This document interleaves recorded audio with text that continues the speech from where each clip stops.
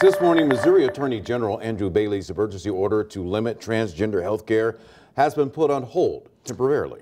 A St. Louis County judge made that decision, and Sydney Stallworth is joining us live from the St. Louis County Courthouse in Clayton with what is expected to happen next. Good morning, Sydney.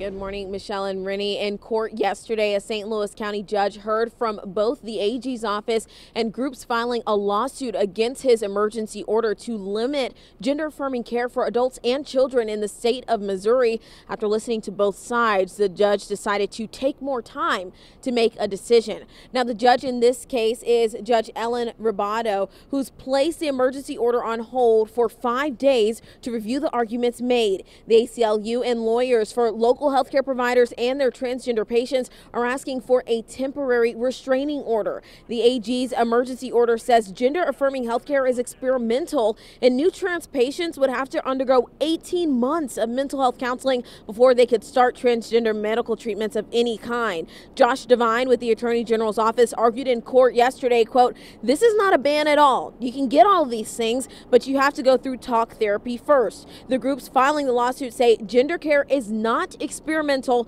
and the AG's emergency order is inhumane. Now, Bailey said in a statement following the judge's ruling yesterday, quote, this order merely stays the implementation of our rules so the court can review the briefing. We will continue fighting for all patients to have access to adequate health care. Now, the judge will make her decision by 5 o'clock Monday evening regarding a possible temporary restraining order.